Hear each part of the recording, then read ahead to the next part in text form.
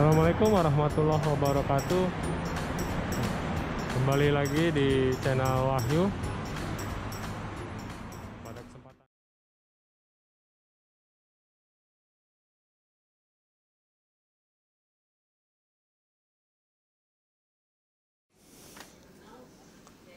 Assalamualaikum warahmatullahi wabarakatuh. Kembali lagi di channel Wahyu. Oke, pada kesempatan kali ini saya akan coba sharing bagaimana cara membeli tiket pesawat melalui HP, tepatnya di sini melalui aplikasi Traveloka. Oke, sebelumnya teman-teman harus sudah menginstal aplikasi Traveloka. Ini saya sudah ada, saya klik.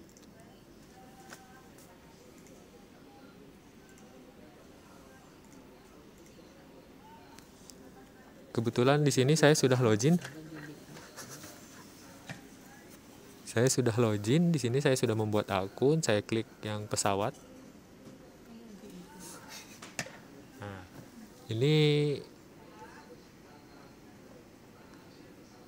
saya hanya satu kali perjalanan tidak PP. Kalau mau PP di sini teman-teman bisa aktifkan. Kalau tidak hanya sekali jalan ini dinonaktifkan. Nah, ini dari mana tujuannya? Saya dari Jakarta ke mana? Di sini saya ke Bandar Lampung.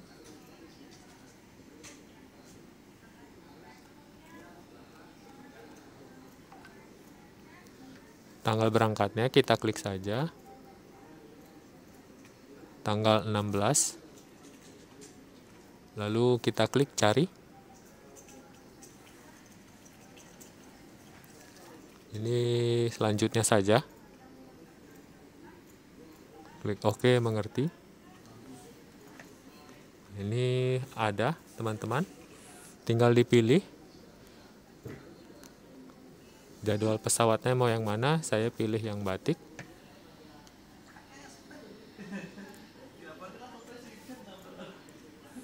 Oke setelah tadi saya pilih yang batik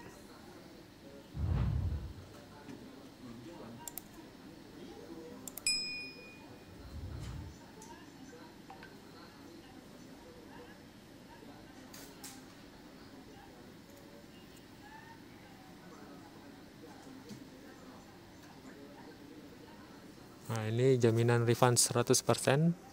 Bisa kita klik tambahkan. Ini saya tambahkan saja.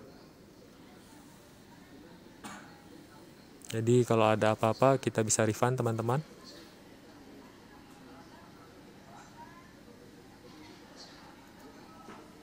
Nah, ini sudah kita klik pilih.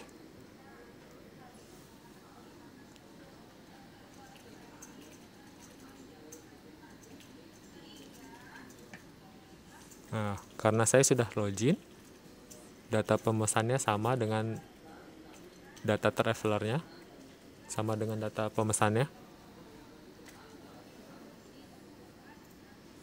Jika tidak, kita klik tanda plus ini untuk memasukkan namanya jika berbeda dengan data pemesannya.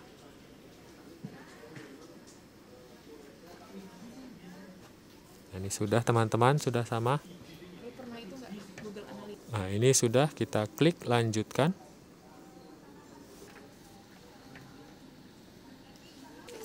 Oke, kita lanjut. Ya, lanjut. Bisa periksa kembali.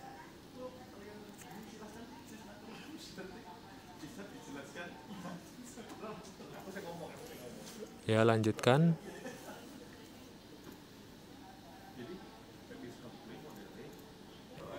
Nah, ini untuk pembayarannya ada transfer BNI. Di sini bisa kita rubah. Kita klik ubah. Nah, di sini ada pilihannya teman-teman. Teman-teman mau menggunakan apa? Bisa dicari pembayaran yang sesuai teman-teman punya. Saya transfer BNI. Bayar dengan transfer BNI.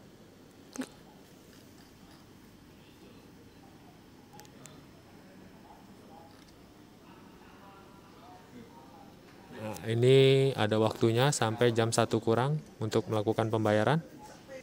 Oke, baik teman-teman, terima kasih. Nanti saya lanjut lagi ketika saya sudah melakukan pembayaran. Oke, baik teman-teman, kita lanjut. Ini saya sudah melakukan pembayaran.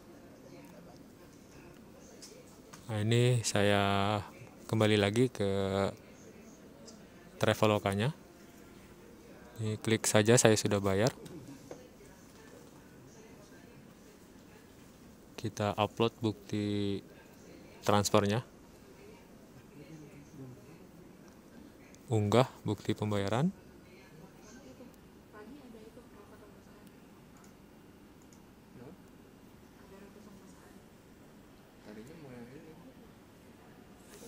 Nah, ini sedang diverifikasi, sedang dicek pembayarannya, apakah sudah sesuai atau tidak.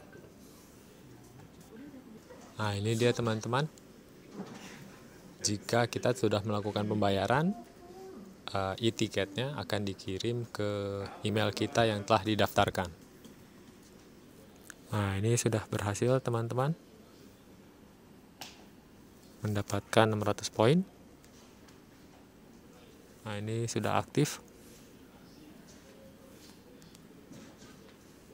Oke, baik, terima kasih. Semoga bermanfaat tutorialnya. Jika ada yang ingin ditanyakan atau koreksi atau sharing informasi, silahkan tulis di kolom komentar. Tetap semangat, jaga kesehatan, patuhi protokol kesehatan. Yang penting semua sehat. Terima kasih.